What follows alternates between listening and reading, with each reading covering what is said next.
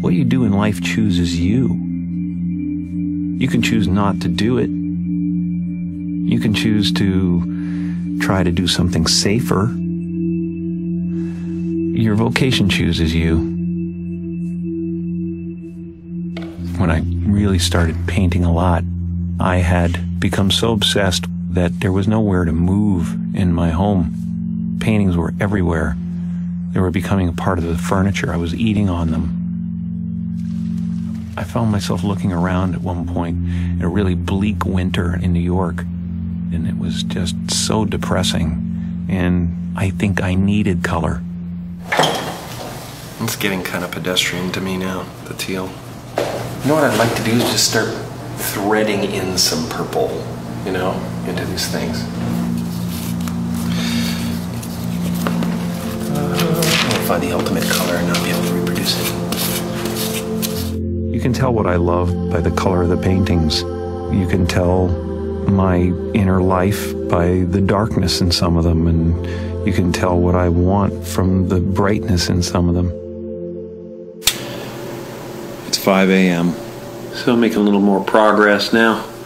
It's really kind of cool what happens with these things, you know, because you really don't know what a sculpture or a painting totally means. You think you do.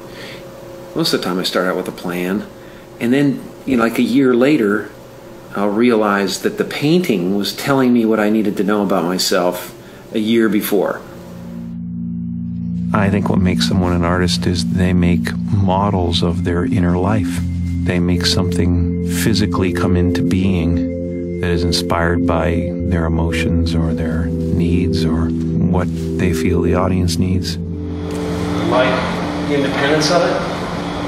Love freedom of it. No one else tells you what you can or can't do most of the time. Uh, and there's an immediacy to it. Art has to be service, you know, it's like you're servicing your subconscious, and at the same time, you're you're doing something that someone's going to relate to, hopefully. When I was a kid, I spent half my time in the living room performing for people. I spent the other half the time in my bedroom by myself, writing poetry and sketching. I was not the type of kid you could say, as a punishment, go to your room, because my room was heaven to me. My isolation was welcome. People that are different have a shot at being original. You know, they got motivation too. You know, they got motivation. I sketched all the time, but I didn't do a lot of painting. Suddenly, six years ago, at a time when I was trying to heal a broken heart, I decided, well, maybe I'll paint. When your heart is in love, you're floating, weightless. When you lose that love, you have to re enter the atmosphere. And it can get pretty rough.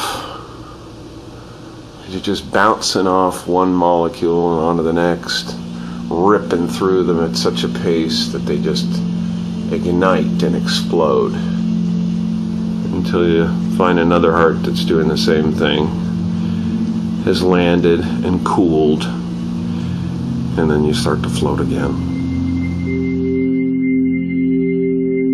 Energy that surrounds Jesus is electric.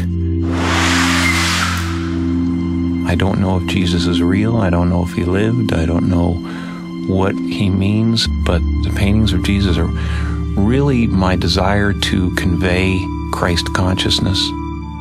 I wanted you to have the feeling when you looked in his eyes that he was accepting of who you are. I wanted him to be able to stare at you and heal you from the painting. You can find every race in the face of Jesus. And I think that's how every race imagines Jesus. They imagine him as their own. That's pretty. So funny, I get so stuck when I'm trying to choose colors, but when I just grab them, it's cool. I don't know what painting teaches me. I, I know that it just frees me. Free from the future, free from the past, free from regret, free from worry.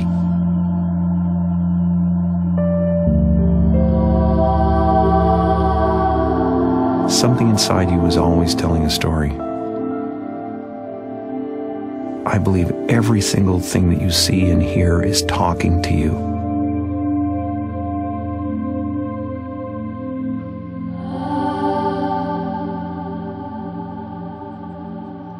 You know, the bottom line with all of this, whether it's performance or it's art or it's sculpture, is love.